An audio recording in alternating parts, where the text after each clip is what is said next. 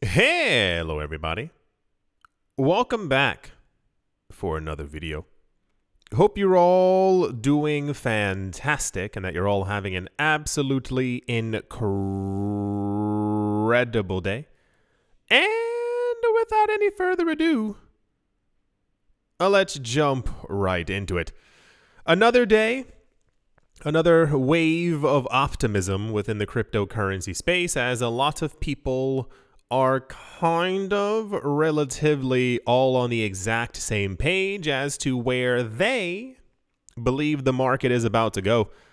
According to Bloomberg, Bitcoin is primed for an unprecedented rise to fifth no, no excuse me 500,000 US dollars. I saw the 5 and just kind of assumed it's 500,000 US dollars.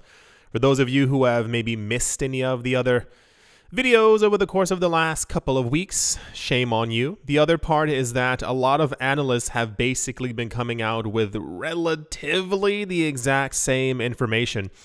The idea on the lowest end is that Bitcoin is going to pass by $100,000. That seems like all but a given.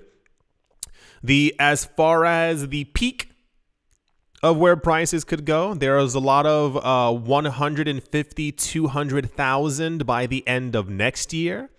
That is to say, the end of 2024.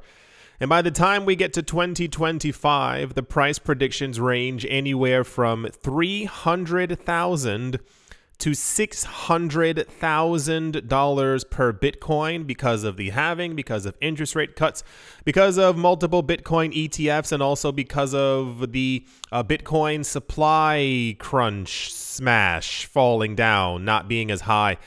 Uh, as it was circulating before, we've gotten news of accumulation for the last couple of years. And we have seen that, as in the other videos, there are whales who are buying, and, the, and I mean, it's not like they're buying like a million coins per per uh, per time, but it's it's like 150, 280 coins, and it actually has an effect on the price because there's not a lot left on exchanges.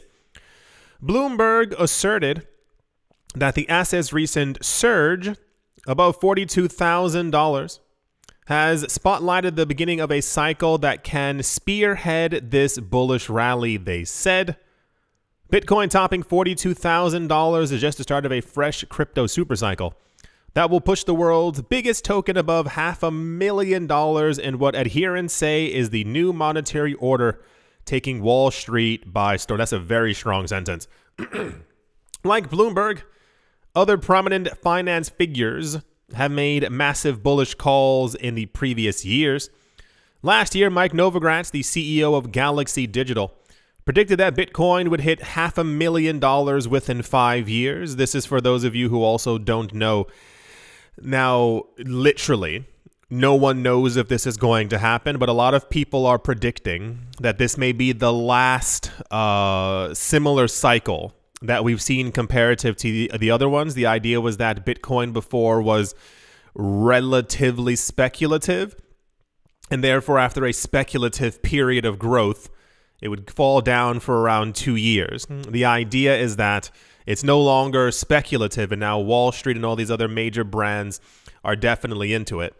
So we could see simply that prices would rise quite dramatically and then fall down by a bit upon the expectation of prices like are supposed to be falling but then they actually only continue to move up this is why we're like you'll start seeing it more and more as well I, I don't know if i've really put it in other videos but there are a lot of people who think that like we won't collapse this time.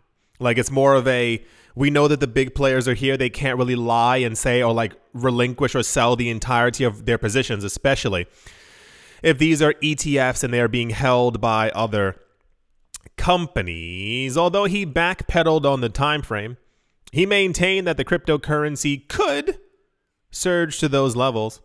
Similarly, Cathie Wood predicted that Bitcoin will be hitting $1.4 million, $1.4 million per coin by the year 2030. The idea of a $1 million Bitcoin, boys and girls, for those of you who don't know, means that nearly all nearly all of the world has kind of like bent the knee to Bitcoin and has kind of declared like we get it. We can't stop it. We have to use it. We're going to start collecting it. It is the new digital gold. Whether we're going to get there in 6 years and half of a month, I don't really know, but you can't begin to imagine what that would mean for the like traditional financial system if Bitcoin is over a million, nonetheless $1.4 million by 2030. I mean, it would be spectacular to see, but on the other end, anyone you know who doesn't own Bitcoin is kind of in the poo poo. Yeah.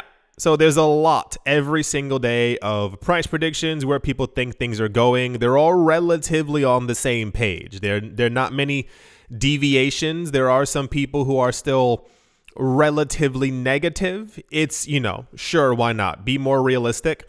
There are a lot of people who are like, no, we're going to top out at 100K or 130K. I don't think people really understand exactly what's taking place and like the significance of the names who are in this market. But that's, uh, that's for us to discuss in 2025 when we see if everything has gone completely uh, parabolic. That's the price predictions and optimism news. And yeah, let's move on. In sure, why not? This was also quite popular news, and I get it, but it's also like no one no one could do this before. A company called Jan3, like January without the UARY, Jan and then the number 3 a leading Bitcoin technology company has unveiled their latest venture. Jan 3 Financial is aimed at onboarding nation states or countries and high net worth individuals into Bitcoin, according to a recent press release. This move attempts to address the growing demand for acquiring and securing Bitcoin among nation states, public entities, corporations and high net worth individuals. And that's why I said I was like, no one has been able to do this before. I understand that um, nations would want to acquire Bitcoin, but I feel like there must be other countries who've in companies who've you know they've already been working with as if this like this wasn't a, a thing before you understand what I'm saying? Like this isn't this was this news was released as something like, "Whoa, they're going to be helping countries." And it's like, how do you how do you think countries have already been acquiring tons of Okay. They said and I quote, "Nation states and corporations require robust means to acquire Bitcoin. We can offer them bespoke solutions to accumulate their Bitcoin treasury reserves." This was said by Samson Mow, the CEO of Jan3. They said the expertise of the Jan 3 team uniquely positions us to meet the distinct needs of our nation state clientele, offering unmatched solutions concerning Bitcoin acquisition, custody, and the high grade security they demand. So I guess they would be the custody solution.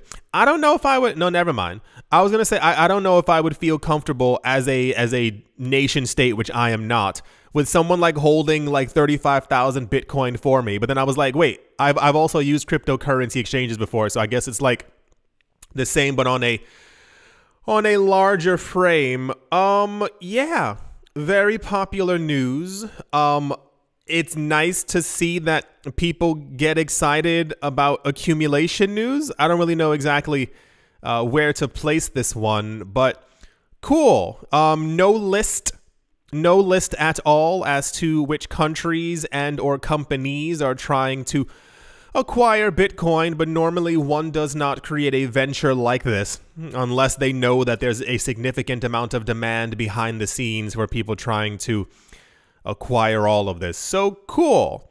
Um, in honesty, this is probably the last time that we're going to hear about them unless they end up releasing public numbers. I highly doubt that we are going to get news that from Jan 3, hey, Zimbabwe has 16,000 Bitcoin. Like, I don't think that they're going to be openly announcing any of that information, but that's the, um, That's the way it goes. Very popular news. Congratulations to them on helping rich people become richer. I don't know what, what I'm supposed to say there. That's the Jan 3 news. I wonder why they called it that. I can't conceptualize anything in crypto. Is it someone's name? Does someone named Jan have three kids? Is it January the 3rd? Oh, maybe that's what. Maybe the company was made on January 3rd. I'm just thinking outside of the box cuz or is it Jane? I'm going to stop talking now. That's the acquisition news. And yeah, let's move on. And uh, here's something to think about. For those of you not looking at the screen, 93%, that is the number nine and then the number three, 93% of all Bitcoin has already been mined. For those of you who do not know or have simply forgotten, uh, Bitcoin is also a bit of a time machine, not that you can step inside of it and go into the past or into the future for that matter but it is a time keeper. It's one of the other narratives that you you probably won't ever hear about again, but Bitcoin keeps time pretty specifically. Uh, we know when things are going to happen. This is how like you can sit here and say, "Hey, the halving's going to happen on this time," or this, or all these other kinds of things.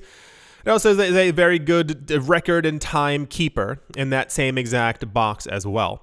The idea is is that we can lightly foresee that if mining continues at this particular pace and usage and yada yada and the halvings happen over and over and over as they're, they're supposed to happen, the last fragments of Bitcoin will be mined in the year 2140. I know it sounds futuristic. It's because it is. It's in the future. That's that's why it's the it's a big number. 2140 the last fragments of Bitcoin will be mined.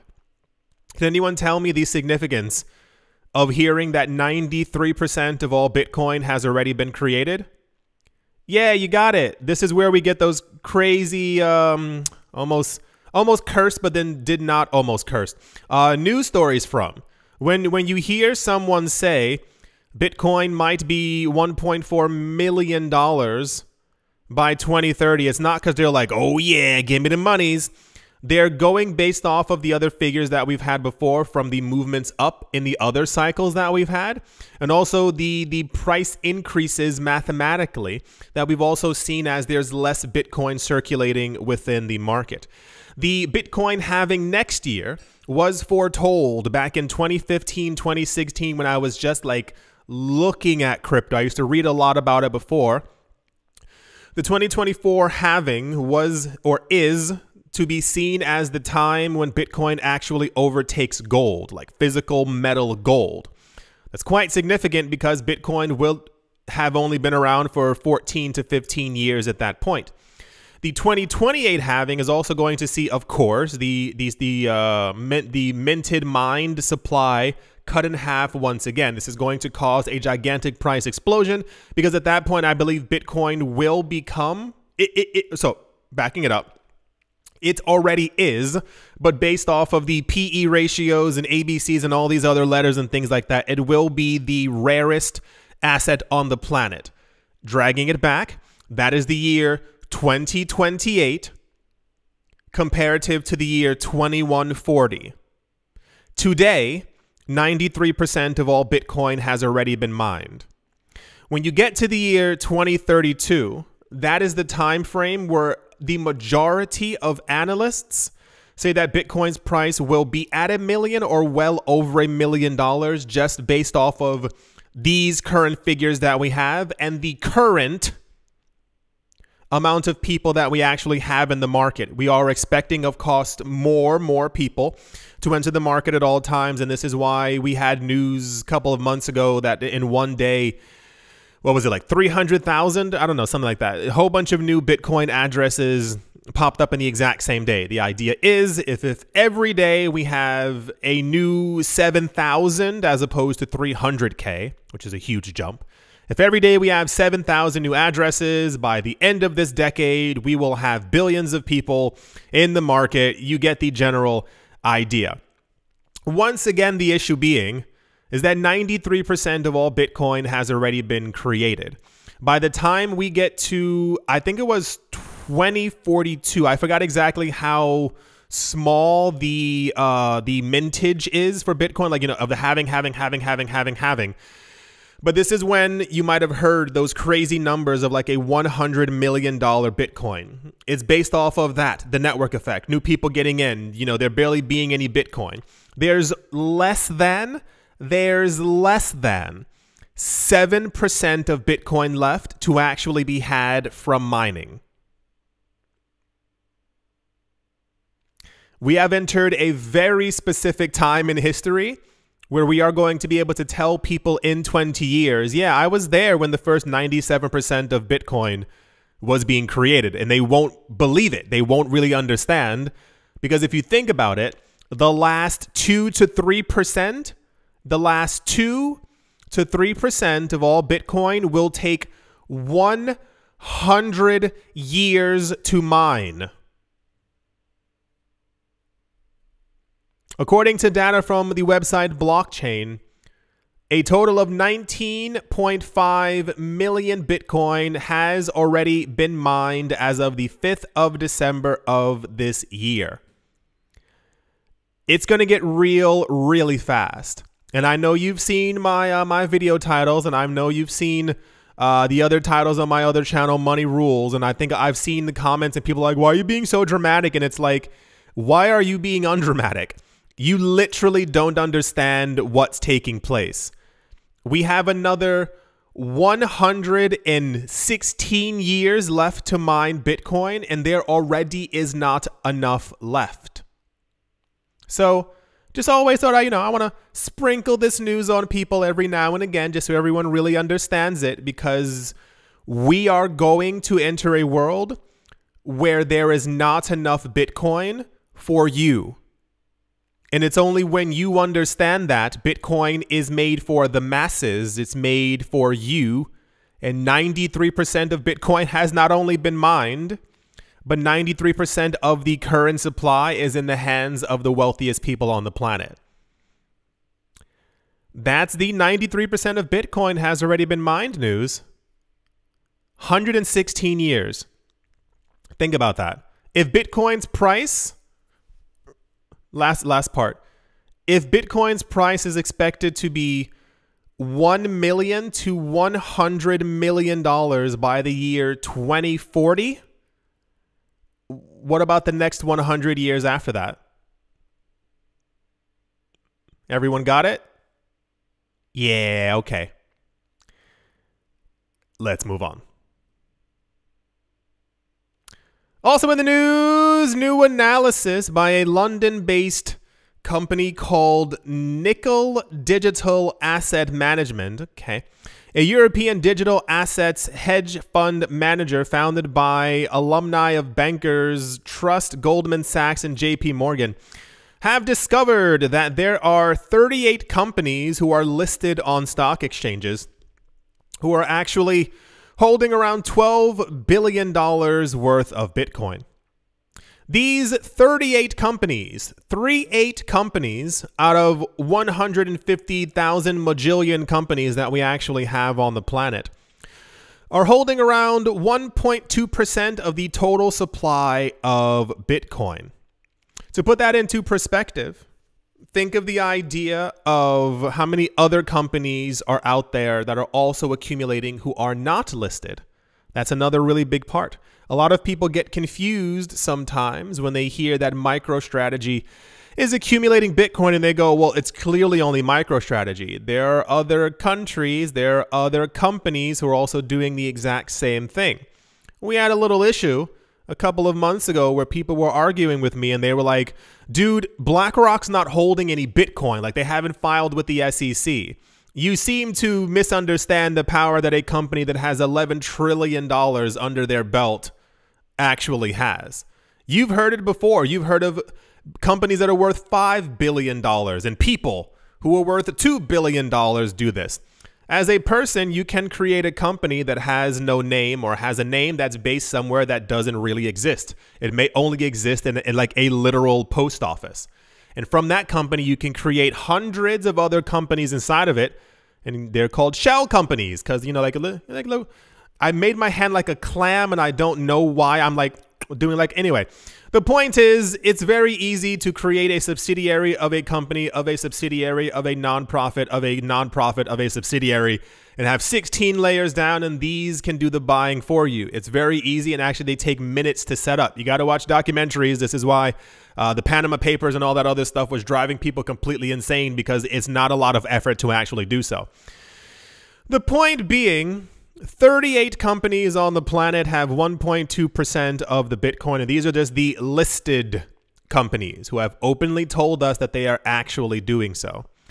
I actually shudder to think what the world is going to be like by the end of this decade because of the and I and I don't say this to have you FOMO. Like understand what I'm about to say is literally just pure fact the amount of money that these companies are going to make is going to be like actually staggering. It's not going to be a situation where they've made like a couple billion dollars. We're like we're expecting like trillions of dollars to be created from the Bitcoin cryptocurrency market. These companies are going to be more powerful than anything we could actually begin to imagine. Same exact thing with individuals. I one of the books I was reading I read a couple of books about the cryptocurrency space. Some of them are terrible. Some of them are actually like quite informative. And the ones that I have seen, uh, and, you know, and I'll say it to you this way, like as far as like the richest Bitcoin and Ethereum holders, um, which I didn't know for a while, but of course it makes total sense. Some of the earliest people, like we talk about the pizza guy who like gave away his 10,000 Bitcoin, yada, yada. But there are tons of other people in the crypto space, and tons, handfuls, who own like 28,000 Bitcoin. 47,000 Bitcoin, 200,000 Bitcoin. And it's like, what happens if Bitcoin does go to $25 million per coin? How rich are you with 47,000 Bitcoin? And they're accumulating more and more every single day. It's the same exact thing for uh, the, the price predictions that we're getting for Ether now range anywhere from 12,000 to $22,000 during the next run. What we saw, I think maybe end of summer, someone was predicting a $100,000 ether should Bitcoin like go into the seven figures area. A lot of the people who like were early Ethereum adopters, and I think Mike Novogratz is supposed to be one of them, like the entire story that uh, he met Vitalik in Brooklyn working on a computer or something like that, gave him funding. And I think he was given, I think, a million ether. Imagine having a million ether. And that was back in 20- 15, 16. Imagine how much more he would have now. Now imagine each ether goes to 100k. These people are going to be like egregiously like dystopian megally rich. I try to say it not to make you FOMO or to make you scared, but it's like to put things into perspective as far as like they figured out what crypto was a while ago while the rest of the world continued to to basically sleep. And the world as we already know it is dramatically changing. We know that fiat currencies were not going to last forever as nothing does, but it's a very interesting time to uh, be on the planet to see all these uh, rapid changes because if right now we're hearing that there are 38 companies who are listed have actively been buying themselves Imagine with multiple Bitcoin ETFs. If we have like another 180 companies who just go to BlackRock and use their ETF, how high does that number then balloon? How many Bitcoin will BlackRock alone have in their ETF? It's all these things, all these things, all these things, all these things. I, I, I think about them maybe a little bit more than I probably should, but uh, you can see the shifting trends. You can see all the real estate being bought up. You can see all the land being bought up. You can see all the water. If you get a chance, watch documentaries on that because, yep, companies are also doing that as well. The world is changing, and it'll be the richest people who have access to these things, kind of. Um, anyway, that's a slightly another topic, but yes, 38 companies are holding 1.2% of all the Bitcoin. And these are, for those of you who don't know, these are mainly US companies that they're that they're tracking. So that's the not much time left news. And yeah, Let's move on. Also in sure. Wow. Okay. It says in an era desperate for financial literacy, Cash App apparently has launched a new magazine called Bread. Now, this is going to sound crazy. Um, I know there's one person who's like, bread? Like the thing you eat? Um, I'm just going to assume that you do not know American slang from like the late 90s. Uh, bread, dough. What are some of the other ones? I, I, am like, there's some other food things. What are the other food ones that like that that all represent the word money? Anyway, bread is one of them. Um, that's why they called it bread. A free magazine that fuses financial education with culture. The inaugural issue, aptly titled "The Bitcoin Issue," promises to demystify the world and culture of Bitcoin and hopefully reshape public perceptions. So, like a lot of times, whenever we get news that Coinbase is doing something or Gemini did something, it always ends up being like lightly cringy. And they're like, hey, do this and you can blah, blah, blah, blah. And like, and I'm like, oh, okay. This I actually like. One, I don't use Cash App. Two, the idea of like a free resource that would kind of like pack everything together for the masses to be able to learn about Bitcoin and crypto and blockchain is how things should be done. Years ago, the idea was that there was going to be an app, something online that would kind of revolutionize the way that people thought about Bitcoin. And it's just information. People don't need video games to be like, oh my gosh, I'm gonna go buy some Bitcoin. No, like just just give them info. Let them understand what it is. Let them learn from it. The more people learn, the more that they know. The more that they know, usually they become more curious and then want to know more after that. So if, if you're looking for a way to like get someone into the cryptocurrency space or let them understand because we all we all know people who don't get it, who don't understand, who have a hard time figuring out why you've been buying numbers on a screen on your computer. Send them like free information, let them understand and like read what these things actually are. A lot of people don't sad part, a lot of people don't know what inflation is or how inflation works. You think that's a joke, but there's there's there's a couple people probably inside of your household that you're going to be seeing today who understand inflation because stuff went up in price in the supermarket, but they don't know why.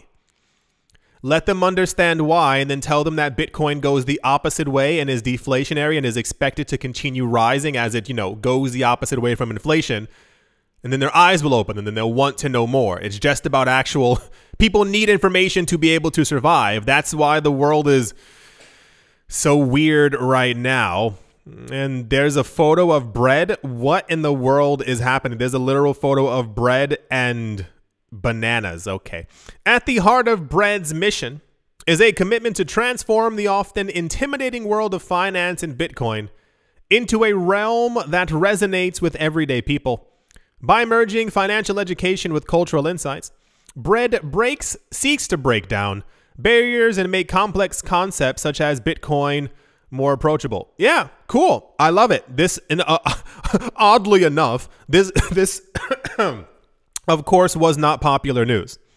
I I expected that it would be because it said Cash App, and I know that's quite big in the states. Uh, but of course, anything about financial literacy, like actual news and helping people, of course, that that won't actually make it into the news anytime soon. But this is incredible. If you have a friend who is using Cash App, like tell them, hey, there's a free Bitcoin magazine. learn about it before the future comes. And then, you know how many people are going to be, I don't want to say the word sad. Imagine a world where you, listening to this right now, like you right now, listening to this, we get to like the end of this decade and you've made anywhere from half a million to a million dollars plus from the cryptocurrency market. And that's because you bought and you held. That's, you know, just random thought throwing it out there. Imagine how many of your other friends and relatives and coworkers like how angry and sad that they're going to be that they literally did not listen to you. I have and I and I know they're not listening, so I can say this a little bit freely over the years I've told you I have friends who I've desperately tried to like get into the markets.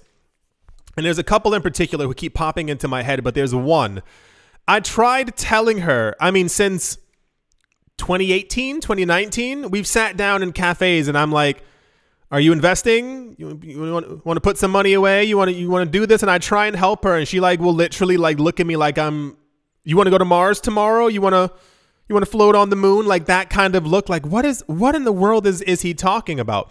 And I spoke with her recently. This was maybe two months ago, and she was telling me how like how many money problems she's having, how many like issues she's having with like her rent. And I and I and I sat there, and all I could do was like lend an ear. But part of me was also like, if you had I mean, even 1% listen to me. Like, imagine having purchased like $400 worth of ether back then or something like that. Like, you would have no rental problems. Like, you'd be good for the next couple of years if you cashed out right now. It's, these, it's all these kinds of things that, that go on. Um, anyway, like, just people need more education. And, and I don't know why I do not know why financial literacy like scares people. Like, are you are you afraid of learning that you've been wrong this entire time, or that it opens up a brand new? And I know that people like there, there are a lot of people who are actually scared of money, like not like oh my gosh, like like running down the street, like you know, terrified of it. But it's something about the idea of having to deal with money. It literally like petrifies them, and I. You got to get over that because we're all getting older things are getting more expensive. And to my other friend, not the one I was just talking about, I have another friend who saves nothing, nothing, like zero, like less than like the number zero less than that. Saves nothing. And I and I was and I was telling them before, I was like, you know at some point you're to get to like 50, 55 years old and your bones will be hurting. You're not going to want to go work every single day and they were like, "No, no, no, no. I'm, I'm I'll be completely fine." And I was like, but you know, then at some point you'll you'll become 60 and then 65 and then you no no no it's I don't mind working and I was like yeah you can say that because you're like 32. You can you can you can totally throw that. It's okay. I don't mind. I don't mind getting up and doing things, but you know. So anytime you can try to educate people, I know it becomes frustrating when you try to give. Believe me, every day right here, when you try to give people information and they just don't absorb it or don't want to absorb it. But if you've tried and people don't listen, there's only so much that you can do. That's something I also had to teach myself. I've been trying for a decade plus, not not even just here in general, even in in real life, trying to help people with finances to let them figure out that they can also buy art. They can buy small property. They don't have to get into debt all these things and I'm just a talking bobblehead to these people until they realize, you know, what's going on. That's the Cash App has a free magazine called Bread News. I'm that, that's going to drive me insane. What are the other words? Dough, bread, moolah. Okay, I'm going to stop. All right, let's move on. In the internet is a free resource, and all it takes is a couple of seconds to actually read information news. This ended up being one of the most popularly unpopular spoken about news stories that we've had like in a while. Maybe like every two or three weeks, we have like one topic that pops up like this. But typically, every time the thing that gets sensationalized ends up also being completely wrong. So I'll go over it and then I'll, you know, I'm trying to keep my calm because I'm tired of people uh, spreading stupidity within this space. Tether apparently froze 41, 41 different wallets controlled by people because of the Office of Foreign Asset Controls, the OFAC specifically designated nationals list on Saturday.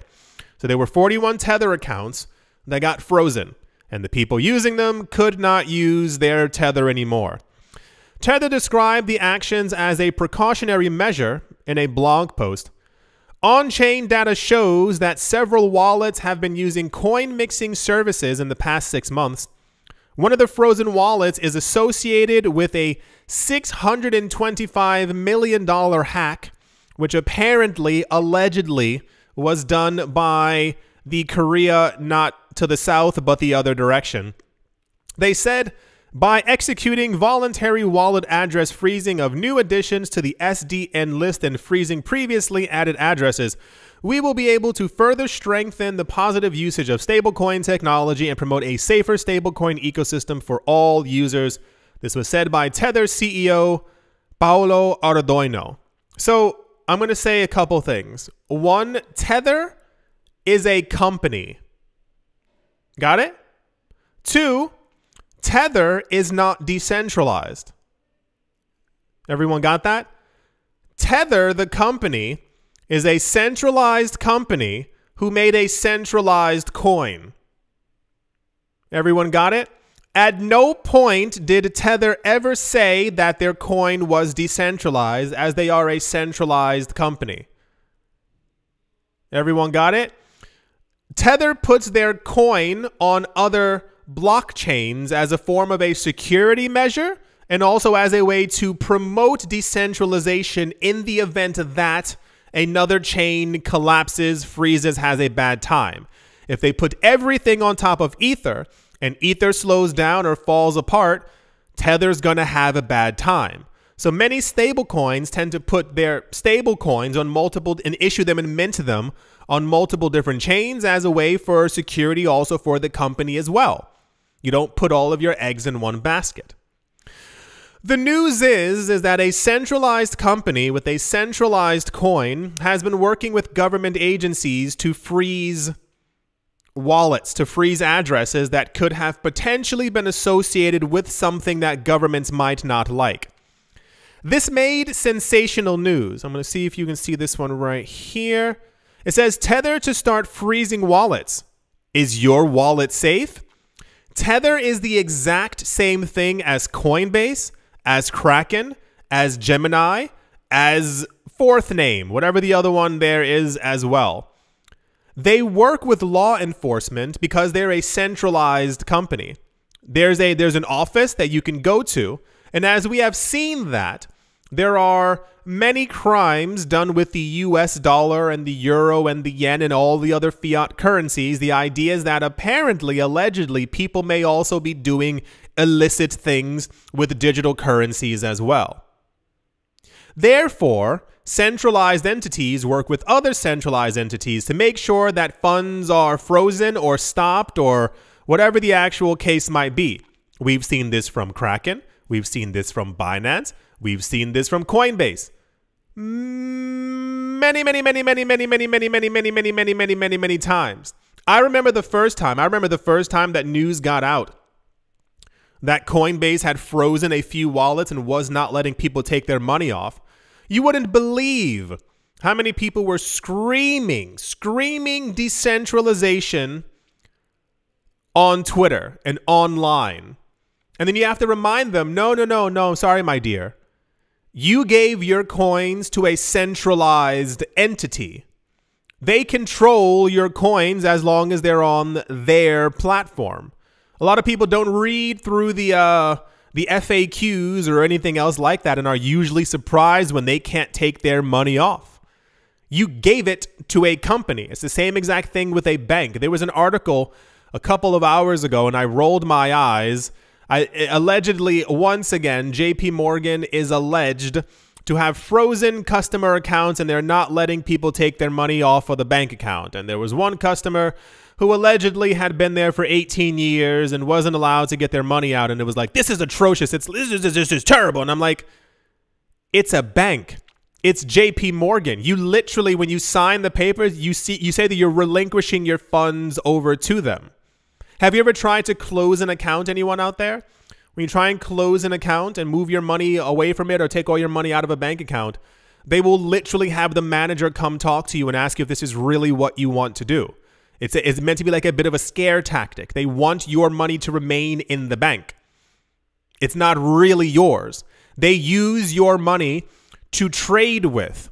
That's why at the end of the year you get like a, a, a half of a percent return to your bank account. The bank is you. How do you think the bank is getting that? They're not giving you free money. They're using your money that you've deposited with them to trade in the markets and other things around the world. And when they've made billions from it, they go, okay, here you go. Here's a dollar fifty. That's how it works. So bringing it on back, Um, Tether is not starting to freeze wallets. Tether has been doing this for a very long time. When you get as big as a as a country, Tether's huge. Like like you, you, you don't understand how much Tether there actually is out there. Like Tether's movements per year are larger than certain countries. When you get that big, countries and entities and banks take notice and they go, "Hey, you got to be regulated. Can you help us in some sort of way?" Why do you think Tether has become so extensively transparent over the course of the last 5 years? This is an article from 2022. There's also one from 2021 as well. It says stablecoin issuer Tether freezes three addresses holding $160 million of assets upon law enforcement request. Yes, that's how that's how stablecoins from a centralized company on a centralized chain work. So, no, this is not the first time that Tether is doing this. It will not be the last time. If you choose to continuously relinquish your funds to centralized entities, they're going to do centralized things. The point of Bitcoin and blockchain is you are meant to self custody. It's your money, you're meant to be in charge of it. However, it's a lot easier to just hand over your money to someone else and say, you deal with it. And then when they freeze your you deal with it, people get upset. So yeah, Tether is centralized. We all know that, as are other companies, as are cryptocurrency exchanges, and as I told you over the last couple of years, as are um, DeFi projects. And I think a lot of people left the channel and didn't want to hear it when I told you years ago that these decentralized finance projects were not actually decentralized. A lot of times we heard nothing about nodes. We heard nothing about validators around the world validating transactions. It always came out to be that there were literally multiple times, it was always three guys sitting inside of an office, usually in San Francisco. They got a letter. They were told by law enforcement, hey, we don't like what you're doing. You got to shut down. And a lot of these protocols disappeared because they're centralized. There's nothing hyper decentralized right now, except for a few actual blockchains. Uh, last word of advice as far as DeFi goes. Remember that one DeFi project who disappeared? No, no, no, no, no. No, this was a crypto exchange. This was a cryptocurrency exchange that disappeared during the entire FTX fiasco. You might remember this. One crypto exchange disappeared, and people were like, Where's my money, bro? and then people began to look through the actual um, terms and conditions on the website. And there was a part that said when you deposit your funds onto our website your funds are are ours. So when they disappeared they basically made off with i think a couple hundred million dollars. And people tried to sue them. And guess who lost? The people who were using their platform because the judge ruled she's like no it says it right here you deposit your money on that platform, it's theirs. They can use it freely how they choose to use it. That's the Tether has started freezing accounts. That's crazy. That's the first time we've ever heard that before. I'm sure that'll never happen again. These these things are basically banks at this point. You you you think because you can transact and tether to Bitcoin that Tether's also just, you know, hyper decentralized? I do sincerely hope that you've all enjoyed. I hope you find time in your day, 20, 30 minutes, to go read a little bit more about crypto, to go read a book, watch a small documentary. If you have a friend who needs some kind of help, because a lot of you are seeing and will be seeing more friends who are going to begin to ask you uh, how to make a million dollars from the cryptocurrency market because they don't understand. So start sending them information as to how they can understand, how they can slowly put money into this market to get a feel for it, to become more accustomed and learned about what blockchain is and what crypto is. Because people hate the idea of asking you, how do I get it? How do I get a million dollars? And you tell them, educate yourself. It'll drive them insane. But then they'll realize you got to educate yourself before you you you think you think people make billions of dollars being stupid? Think about that. Think about that for one second. This just drove this drove me up the wall a couple of years ago. I, mean, no, multiple multiple times in my life I've seen this, and I and I couldn't conceptualize how it actually became a thing. You must have seen this. So even this was years ago when like Facebook was like still a thing. I remember seeing posting people posting stuff like, "Oh, I hope I find a million dollars," or posting things about like really fancy, beautiful, lovely houses. I remember there was and th- this house was clearly like forty-seven million dollars. Somebody was like, ah, "Oh, I hope, hope, hope I get it. I want this house," you know, blah blah. And I was like, if you got that house, you wouldn't know what to do with it. You literally would not begin to comprehend how much it cost for the upkeep of the lawn. You have to pay for water, light, gas. You have to fix the roof. It costs money every single hour, every single day to heat that place, to run that gigantic house. There's so many people who want to become rich but have no idea what to do with it. If you got it. This is why so many people who end up winning the lottery, they go broke in like 3 years. Can you imagine winning 150 million dollars and in 3 years you are broke? That means over a thousand days you had with that money, not one second did you take to go to a literal financial advisor and say, Help me. I had 150 million. I looked at my bank account, there's 30 million left. I need help. I saw a documentary years ago. This was a I forgot what language it was in. It was a documentary about this couple who had like won the lottery. I want to say somewhere in Europe. They won the lottery, and it, it, it, wasn't like an egregious amount of money. It was like five, six, seven million. It was you know still big, still big, but not nothing compared to the you know uh, Powerball and all this other stuff that people are winning now. This couple they bought like a fancy, weird looking house. They were giving money to all their friends and relatives and stuff like that. And then at some point, this family, this this, this couple they went to Monaco and they said they were sitting at a cafe and they realized that while they were sitting there, they were like, we we burned through a lot of our money. They were taking first class business flights everywhere, just traveling, beautiful, beautiful, amazing photos and all these lovely memories. And they said by chance, by chance, by chance, by chance, they sat there and this couple started talking to them next and they say, Hey, where are you guys from? And they say, Oh, we're from so and so. They say, Ah, okay. We have friends who live around there. They're talking, you know, having conversation, and then the the the the the, the lotto company goes, the company, the lotto couple goes, Yeah, you know, we actually we actually won the lotto and they go, Oh my gosh, no way. You know, what did you guys what'd you guys do? And they go, we bought a this and we did this and we got five new cars. And the and the couple who they were talking to, they didn't know was actually extremely, extremely wealthy. And they were like, What did what did you invest in? And they were like, What? Where'd you where'd you put your money? They said, We didn't put our money anywhere. That rich couple helped them buy a bunch of houses and a bunch of property.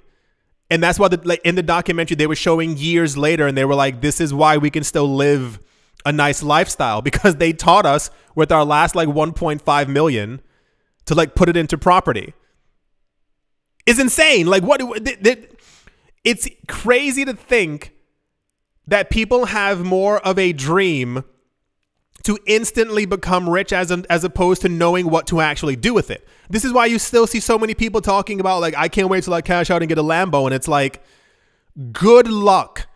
Good luck with no house no investments, and you driving down the street in this half a million dollar car while you still live in a bad neighborhood. Good luck. It doesn't make any sense. You have to learn about money. You have to learn where to put your money, what to do with it. What do you like? What do you? There's so many people who are expecting to like make a pretty good amount of change from this bull run what are you going to do with it? Because listen, realistically, it's almost 2024. You cash out 2024, 2025, where are you by 2030? Are you are you sleeping in your five, six, seven year old Lambo? Are you trying to sell it for less than you bought it for because it has dents and, and like it, you know, just looks terrible now? Why would you not prepare for the future? Why would you not learn what to do with your money, how to continue to make it grow? The world is crazy. The world is absolutely insane. There's so many people like that. Like the idea of instantly becoming rich is such a dream. If you just learned how to build money and how to invest. Anyway, as you can see, I have a lot to say about that because I've I've come into contact with so many people over the years who tell me like, "Oh my gosh, I want to be rich," and I'm like, "You don't know what to do with it. You have no idea what to do with it." I had um this okay last last thing. This was 2010, 2011, long, long, long time ago. I remember I was I was with friends who I hadn't seen in a while, and it was maybe like 11 of us and at some point, someone started talking about like hypotheticals, like, what would you do if somebody gave you a house or somebody gave you this? And it was, it like one of those kind of things, like, you know, like, so everyone at the tables dreams, you know, dreams and wishes of, you know, better days. And then I was like, okay, I have one. And I was like, what would you do if someone gave you a hundred million dollars? Somebody was like, I would buy a house and I'd buy a jet ski and then I'd buy a yacht and I'd probably do this. And I was like, how are you making money? What? How are you making money from your money? What do you? I, I have a hundred million dollars. I'm like, yeah, but that'll that'll the way that you're spending and you having no actual investments, like you can you can buy a, a thirty million dollar home that you live inside of, but it's going to cost you about half a million dollars per year for the upkeep on everything that you actually have to do. How are you making money? And no one at the table, not one person, could answer it correctly. Not one person. They all had, well, I'd give 20 million to my mother and 20 million to my and I was like, they're also going to burn through that money. If you took a million dollars, the average number that tends to always pop up, of course it can be more, is if per per million dollars, you can make roughly around 5 to 6,000 in rental income per month. If you have 10 million dollars, 10 million you make between fifty to sixty thousand dollars per month in rental income. Think of that. Imagine making sixty thousand dollars per month just from rental income. If you do that with a hundred million, it's six hundred thousand. Just to throw it out there. If you gave your family member $10 million and told them you can only buy real estate with it, let me help you, they would look at you like you're crazy. And then you would tell them, you are going to make $60,000 plus because, you know, rent goes up for the rest of your life every single month. Even, even better, can you imagine? Can you imagine giving a million dollars to a family member and you say the only way I will give this to you is if you are financially literate? You have to take a financial literacy test by the time I give you this money and you have to pass it. Then you get the million. Think of how you would change their lives forever. Always learn, continue to learn, learn more every day. You have to, you have to, you have to, you have to. There are going to be so many people who make good money during this bull run. They're going to cash out and have no idea what to do with it. They're going to burn through all that money and then be angry in 10 years when you see your other friends or other people in the cryptocurrency space living large. Oh boy, oh boy, oh boy, oh boy, oh boy. I do hope that you've all enjoyed. I do hope that you all are having a great day, morning, afternoon, evening, wherever you are, wherever you might be. I do hope it is absolutely fantastic. Thank you all once again for watching, listening, liking, commenting, and or supporting. And I will most certainly be talking to you all soon. See you.